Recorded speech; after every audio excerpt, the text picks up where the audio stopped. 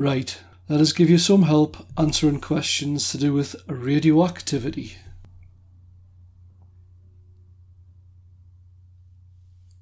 Question 1. Which one of these statements about alpha radiation is correct?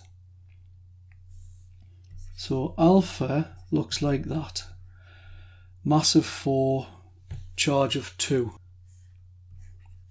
It's made of two protons and two neutrons. Alpha radiation has no charge. That's incorrect because it's got a charge of plus 2. Alpha radiation is very ionizing. That's correct. Alpha radiation travels very far in air. No, it only travels a couple of centimetres. Alpha radiation is an electromagnetic wave. No. So the answer was definitely B. Part B. When an atom emits an alpha particle, its nucleus changes, which describes the changes in the nucleus. Put a cross in the box next to your answer. So remember the nucleus is in the middle. You've got your shells on the outside where the electrons are in. All gamma radiation comes from the middle from the nucleus. And if you're going to lose an alpha particle, it means you've gave off two protons and two neutrons. So the proton number will decrease by 2 and the mass number will decrease by 4. So the answer is A.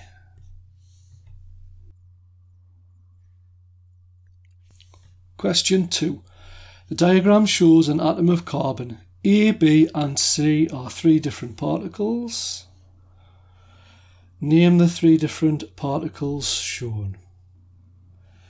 Well, carbon is carbon 12 usually, unless it's an isotope, and it's got 6 on the bottom. So that means it's got 6 protons, and this number here is the protons added to the neutrons. So if it's got six protons, it must also, in this case, have six neutrons. Now, if we count, remember the protons and neutrons are in the nucleus in the middle. So let's just count and see how many we've got. The white ones first. One, two, three, four, five. I've got six of them. Uh, so to be honest, they could be the protons or the neutrons. Uh, the darker ones, one, two, three, four, five, six. There's six of them as well. Yeah and C, well, they're the electrons in the in the outside. So we'll put them in first because they're definitely the electrons. And A could be protons.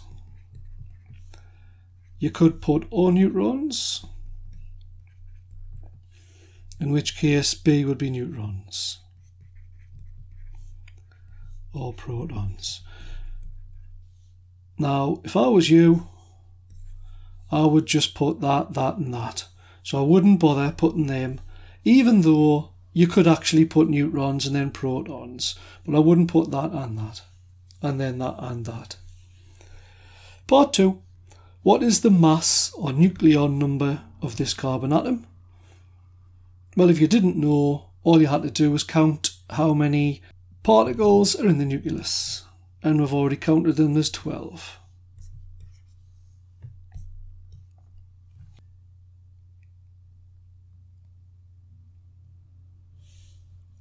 Question 3. The diagram shows the structure of an atom. Complete the sentence by putting a cross in the box next to your answer. The size of the charge on each electron is a third of the charge on a proton. No.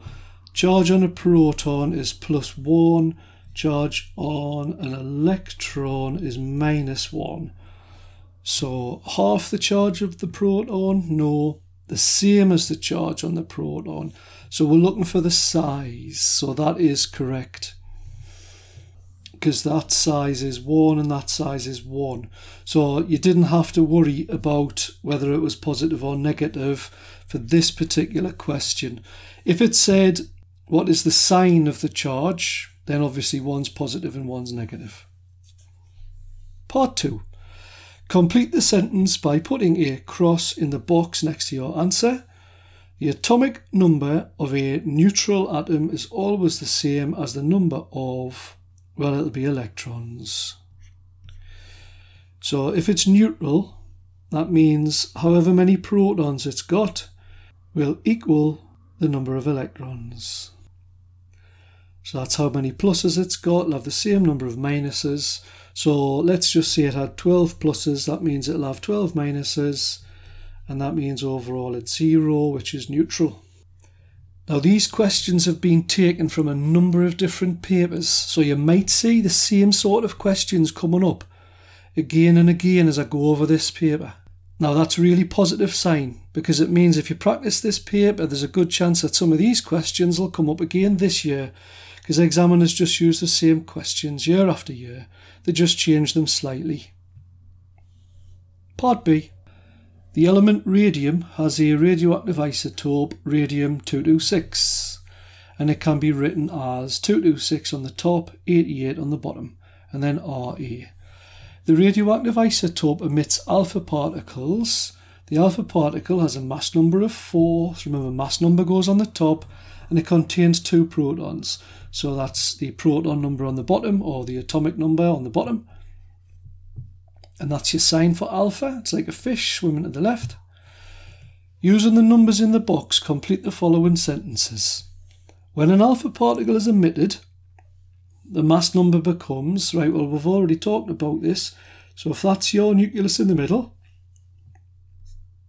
and a little alpha particle comes out, what it's basically doing is it's kicking out two protons, I'll make them the black ones, and then two neutrons, which would be the white ones. So the mass number is going to become 4 less than it was. So the mass number was 226, Let's take 4 away from that, and it's going to go down to 222. Part 2. When an alpha particle is emitted, the atomic number becomes, right, well, we've lost two protons. So let's take 2 away from that, and that's going to go down to 86. Part C. Describe how the emissions from radioactive substances can be dangerous to living things now it's worth two marks. So what I say to my students is say it damages cells and it causes cancer. Don't just say it causes cancer. Examiners like you to say both parts. Even if the question was only worth one mark, I would still say the same thing. There are other things you could say, like it affects the DNA, causes mutations, ionizations, burns, sickness, but honestly, just remember that damages cells and causes cancer. Part D.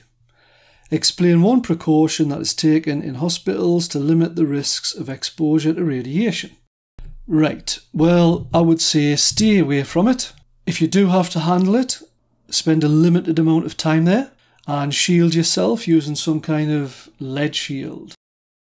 And if you do need to pick it up, pick it up using tongs. So it was only worth two marks. I've put three things there for you.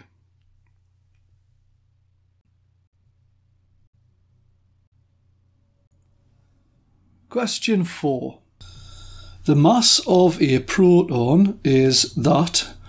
The mass of an electron is that calculate how many times the mass of a proton is greater than the mass of an electron. Give your answer to two significant figures. Right, so what we're looking for is the mass of the proton divided by the mass of the electron.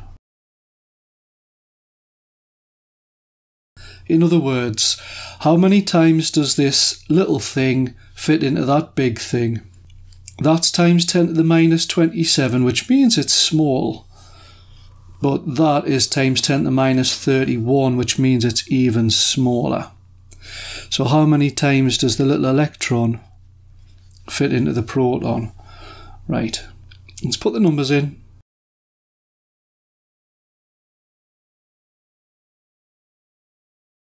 and that comes out as 1836.125. Right, now it's worth three marks and they want you to do it to two significant figures. So the first figure that is not a zero is this one, and then what we need is just the second significant figure to go with it. If we look at the third figure, it's a 3, so that's going to round down.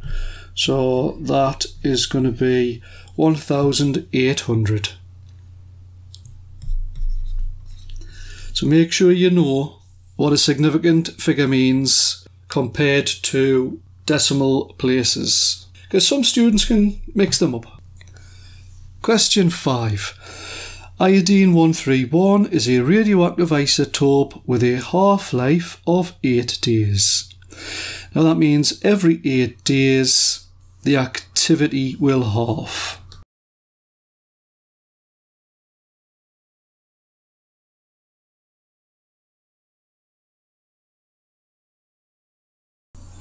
Okay, so what is the activity? The activity of a sample of iodine 131 is 480 becquerels. Calculate the activity of the sample after 16 days. Right, well, I tell my students to always set it out the same. So do the initial activity, that's 480 becquerels. Right, so eight days later, it's going to half. So it's going to go down to 240 becquerels. And then we need to know what's happening after 16 days. So another 8 days, it's going to half again. And that's your 16 days. So it's going to have gone down from 240 to 120. And that's becquerels. So that's how I encourage my students to do it, by setting it out like that.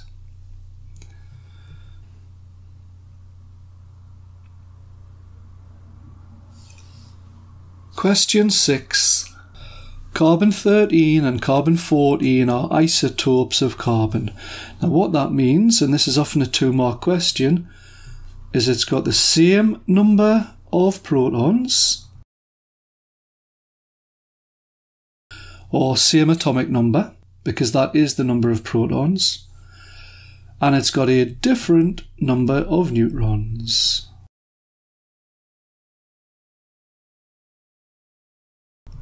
So that's often a question for two marks.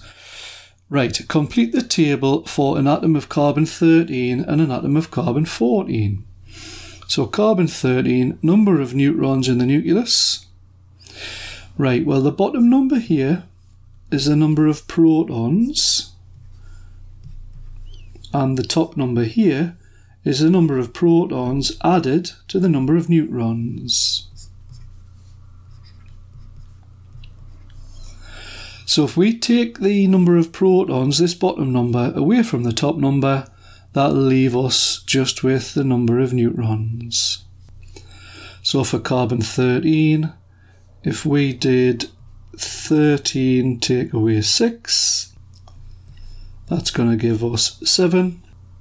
And for carbon 14, this one over here, so we'll take the mass number and we'll take away the atomic number, just like before. And that'll give us 8. Number of electrons in orbit around the nucleus. Well, remember the number of electrons is just the same as the number of protons. So for carbon 13, the number of protons was 6, and for carbon 14, the number of protons was also 6.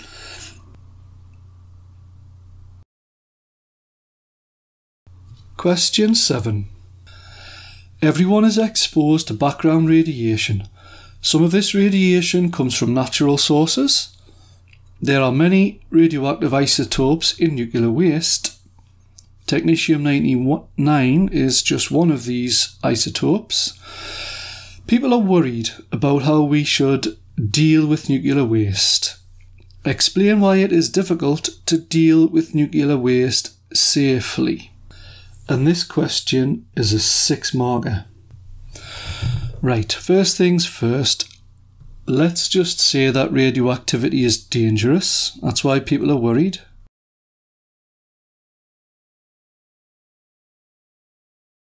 Now, why is it dangerous? It can cause cancer. Now, how long does it stay dangerous for? Well, it can have a very long half life, so it stays dangerous for a long time.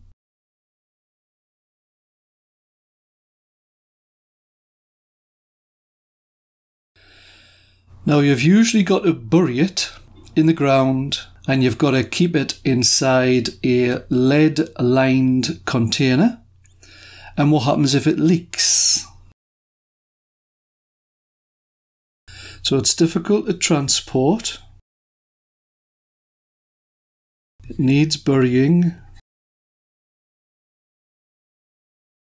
Kept in a lead lined container. And people are worried that it might leak and contaminate the local area.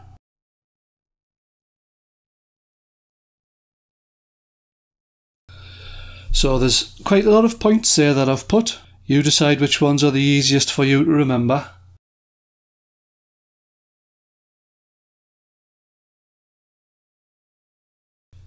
Question 8. Carbon 14 is radioactive and has a half life of 5,700 years. The number of radioactive carbon 14 atoms in a very old piece of wood is found to have decreased from 1 million to 125,000. Determine the age of a piece of wood. Now, there's two definitions of half life. One is the amount of time that it takes for the activity to half, and the other definition is the amount of time it takes for the number of radioactive atoms present to half. So, if we start with a million atoms,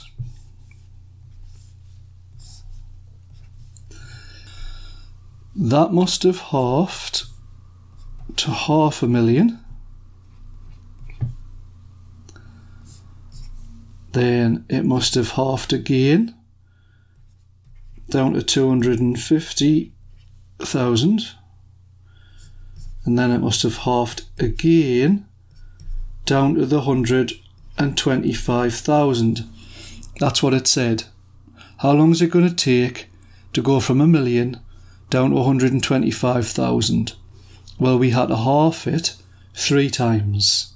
And we know that each half life, which is the amount of time that it takes to half, is 5,700 years. Three times by half lives. So that means three times by 5,700 years. And that'll give us our answer and that's 17,100. That's how old a wood must be. So you'll notice I set that out very similar to how I set the last one out. I just find it nice and easy because it's visual. You can see what's going on. Question 9.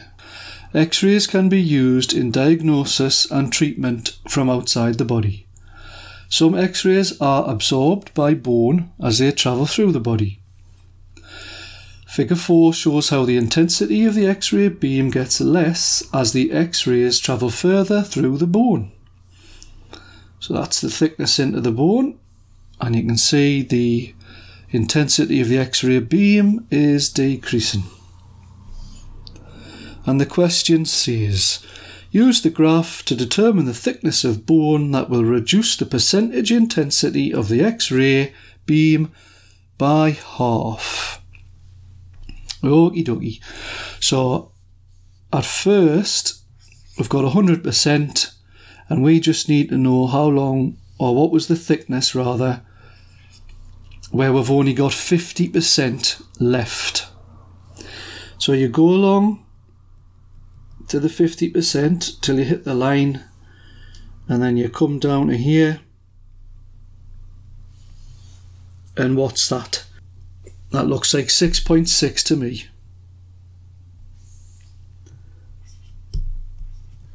So the thickness to go from 100% down to 50%, so for it to half, it took 6.7 centimetres of thickness of the bones, 6.6.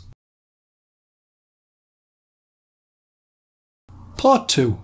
Radioactive isotopes may be placed inside the body for treatment. The energy absorbed by tissue in the body needs to be known. The number of joules of energy absorbed by each kilogram of tissue is measured in one of the units shown.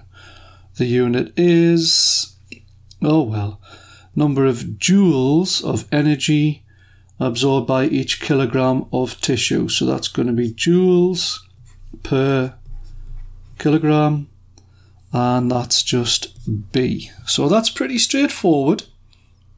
As long as you read the question correctly and don't panic. It sounded like it was going to be a bit complicated when we read the first bit, but it wasn't. Question 10. Medical physicists have developed endoscopes and many other devices to help doctors diagnose medical problems. Compare the use of electromagnetic radiation in endoscopes and in one other diagnostic device. Barnacles, that's quite tricky. Depends how much your teacher's taught you, because this is one of these questions where it's difficult for the teacher to know just how deeply to go. Right, so it's about endoscopes and it's about the electromagnetic radiation. So, first things first, do you know what an endoscope is? Well, it basically is just say you've got something wrong with your stomach they'll put a fibre down into your tummy through your mouth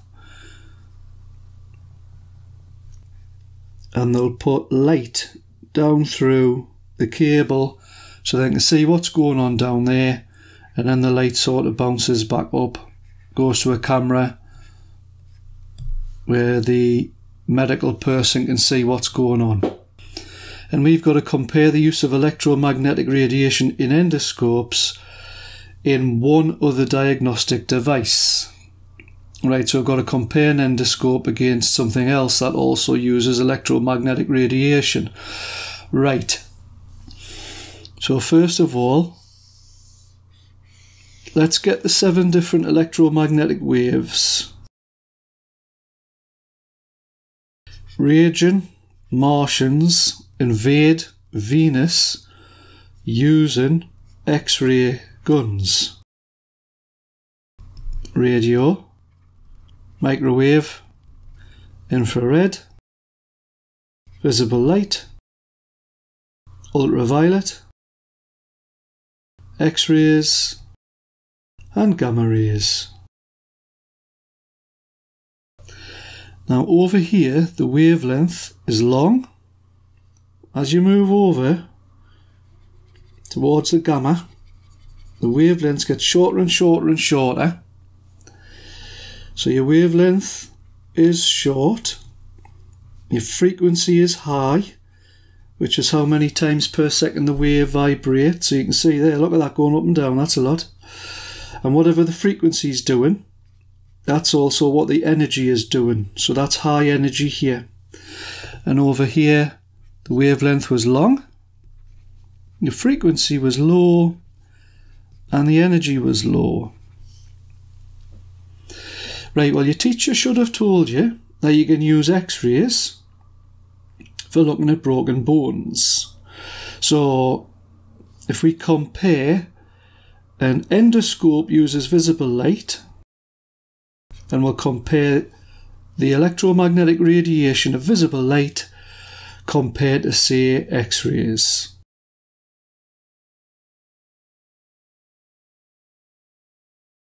Right. Endoscope uses visible light.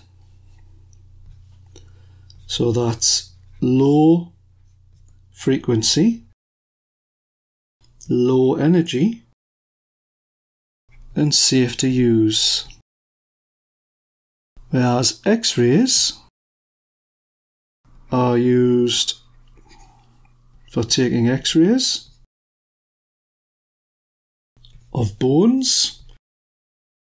Not sure if we'll get a mark for that, but that's our other diagnostic device, X-rays. Right, their frequency is high instead of low. They've got a high energy and they're dangerous. They can damage cells and they could cause cancer. And I could write in about their wavelength just to make sure that I get all my marks. So remember the visible light had a long wavelength and the X-rays had a short wavelength. Now everything that I've said about the X-rays, you could say similar things about gamma rays as well. So just in case next time they say you're not allowed to say X-rays. Well, I, I hope you understand what I've sort of done there.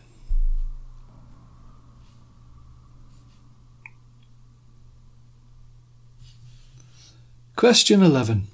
Describe how the emissions from radioactive substances can be dangerous to living things. Two marks. Well, we've already had a question like this. Remember, all these questions have been taken from two or three different papers, so you can see it's the same questions coming up again. They damage cells and it can cause cancer. If you did want to put a little bit more information in case it was worth three, why do they damage cells? It's because they ionize the cells. Radioactive substances can be ionizing.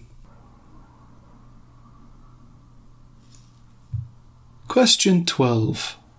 Figure 17 shows a Geiger-Müller tube used for measuring radioactivity. A radioactive rock is placed near to the front of a Geiger-Müller tube. A radioactivity count rate is first made in air. The count rate is measured again with each of the three different absorbers between the rock and the GM tube. Figure 19 shows the count rates measured.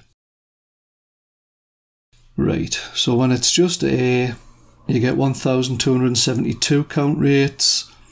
Pop a thin sheet of the paper in the way, and it goes down to 931. Then put some a thick sheet of aluminium, and it goes down again and then put some thick sheet of lead and it goes down again. A scientist has an idea that the rock emits three different types of radiation. Explain how the data in this table supports the scientist's idea. Right, let me make sure you know what's going on here.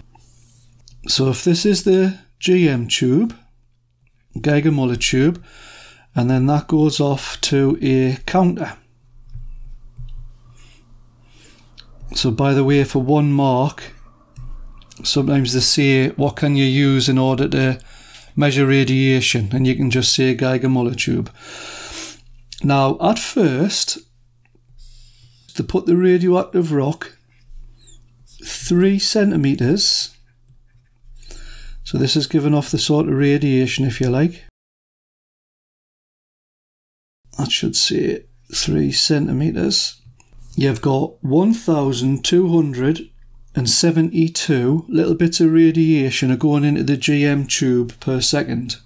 Now that could be alpha, it could be beta, and it could be gamma.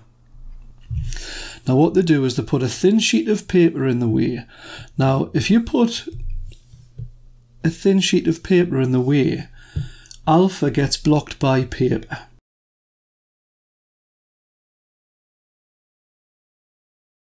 Or absorbed by paper. And the count rate dropped from 1272 down to 931. So that proves that alpha must be there.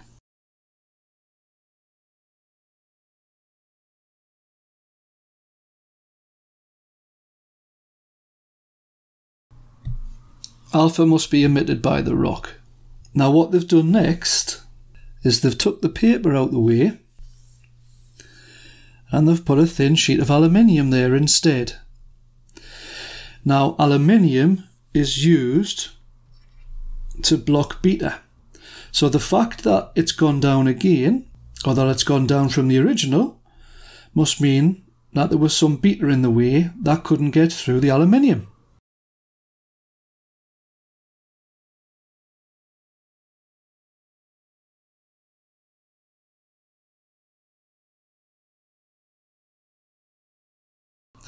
And then finally,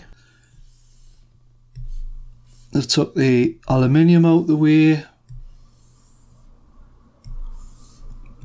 and they've put a thick sheet of lead there. Now, the count rate dropped once again, so that must mean that gamma was there. Now, if you're wondering why is it still on 21 and not on 0, well, that must be the background count rate. And remember, background radiation is around us all the time. There's nothing you can do to stop it.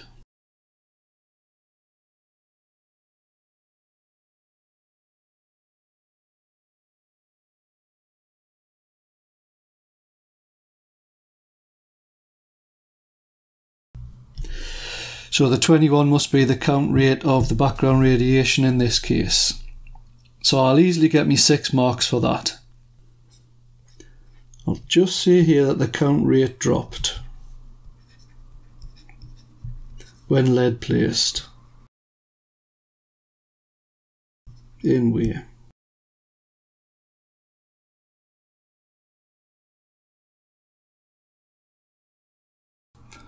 Question 13. In 1908, a scientist called Rutherford, Ernest Rutherford, was investigating ideas about atoms. His students fired a beam of alpha particles at a thin piece of gold foil. Figure 10 shows the arrangement of the experiment. Some alpha particles were found at all parts of the ring of detectors. The table in figure 11 shows how many alpha particles were detected at P, at Q, and at R in one experiment.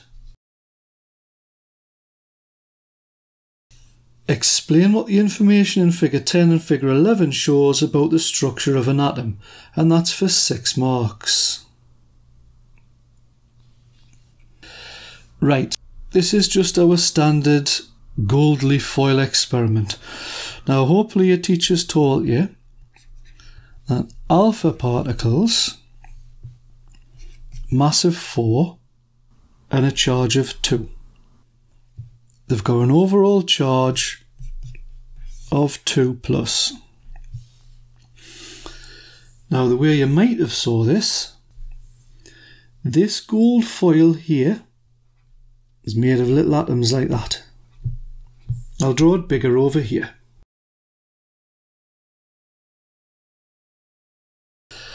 Right, so that gold foil there is this gold foil here. And what they're going to do is they're going to shoot an alpha, or lots of alphas, and we know that alpha is positive. Now, we also know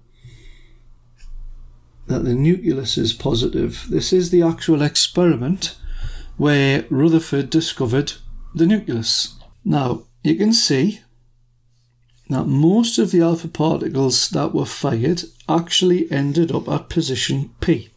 So most of them went straight through.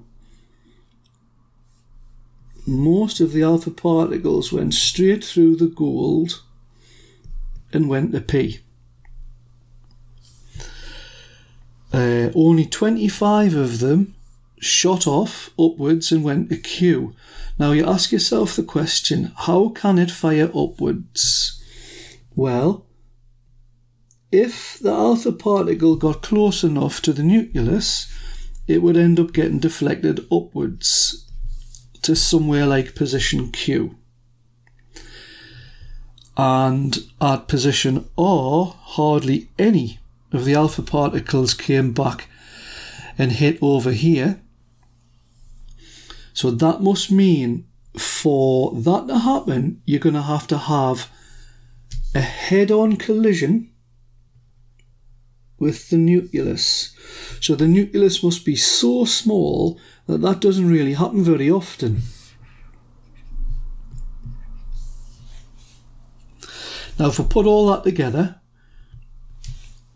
this is how you write it.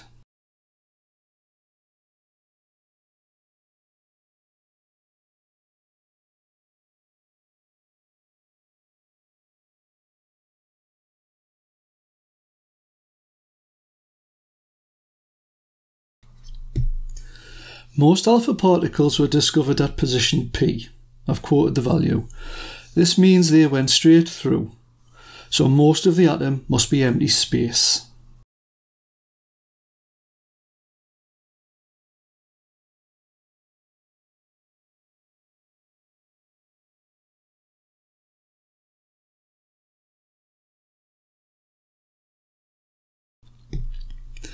So 25 alpha particles were found at Q, this means they were deflected. Alpha is positive, so the nucleus, which is the central part of the atom, must also be positive. And finally, position R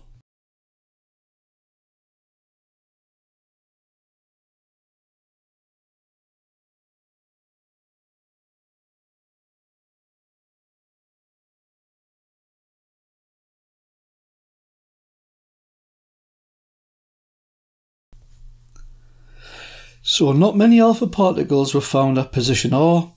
This means that the nucleus must be very small compared to the size of the atom because we didn't have many head-on collisions, which is what was required for a particle to end up at position R. I've got a nice little video all to do with that, and it's to do with the history of the atom on my YouTube channel if you want to check it out.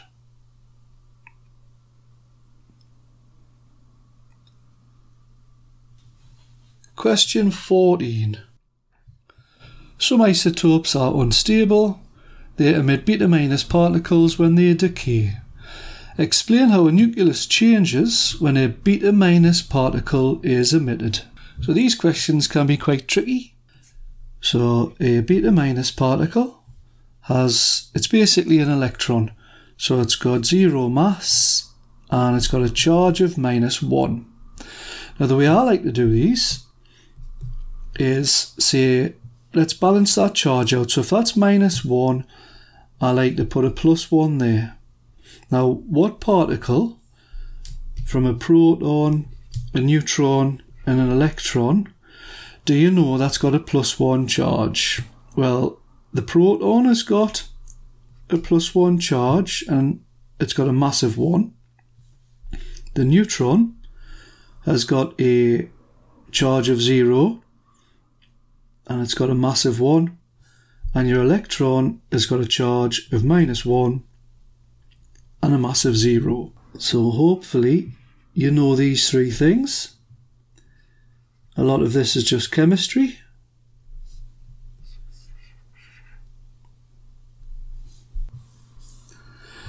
So if this here has got a charge of plus 1, it must be a proton. And therefore it'll have a massive 1. Now, where did that come from?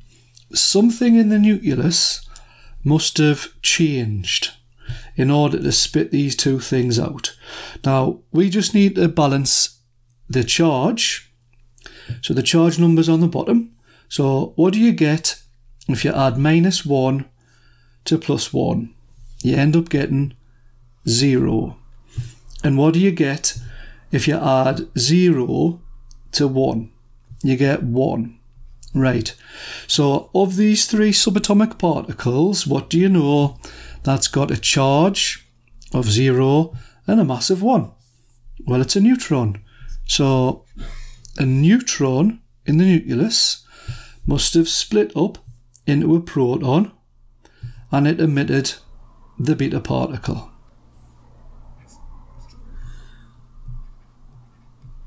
So remember that's the mass number on the top and that's the charge number on the bottom.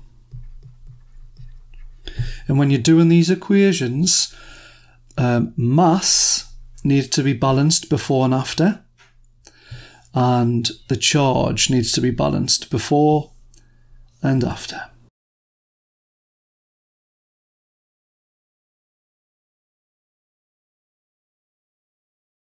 So a beta minus particle is just a fast moving electron.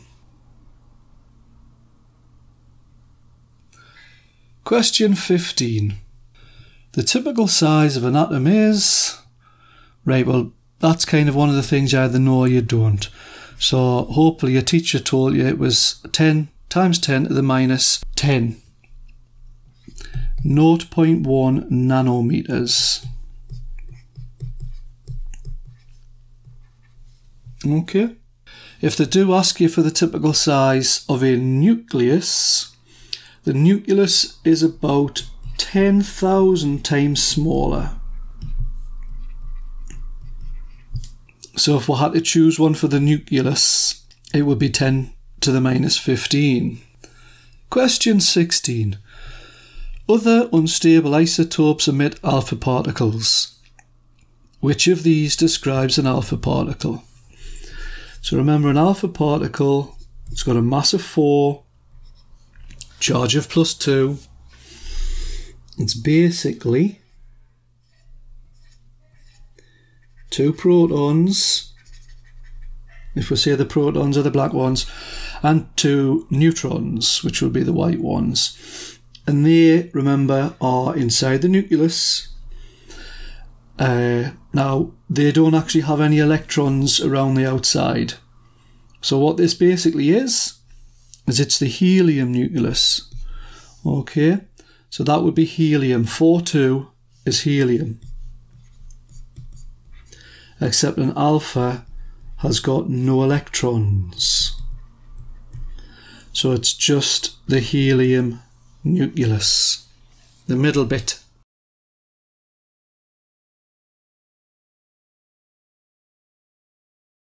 Question 17. The student uses 59 dice to model radioactive decay. He starts by rolling all the dice at the same time. He removes all the dice that show a 6. He then rolls the remaining dice. The student repeats this process five more times. State two improvements the student could make to his model of radioactive decay. Well, Use more dice and roll it more than four times.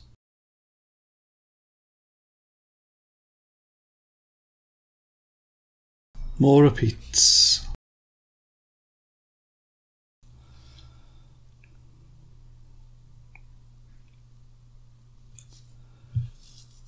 Question 18.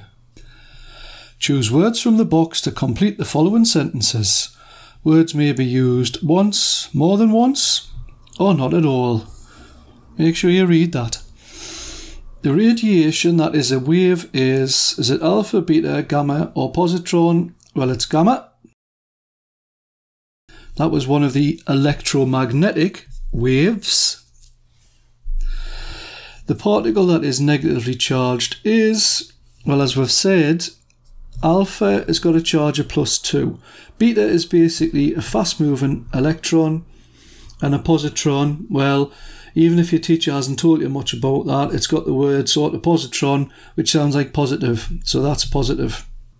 It's actually an anti beta. It's like the opposite of a beta. So it's still got zero mass, but it's got a charge of plus one. So the particle that is negatively charged is beta. Question 19. Many different types of radiation are used by doctors. Which type of radiation comes from radioactive sources? Put a cross in the box. Is gamma radioactive? Yeah. That's pretty much it then. Let's just check the others. Ultrasound? Nope. Is ultraviolet radioactive? Nah. What about x-rays? Nah. And finally, question 20. So if you're still here, well done. This will have an increase on your success in your exams. Definitely. Explain how radiation from radioactive sources can be dangerous to people. This is the third time we've saw the same question, so hopefully your confidence has gone through the roof. Damages cells and causes cancer. And just in case you can put it's ionizing. Radiation is ionizing. And there we go. Remember, the more you practice, the better you get. So work hard, be nice, good luck in your exams, and I'll see you in the next video.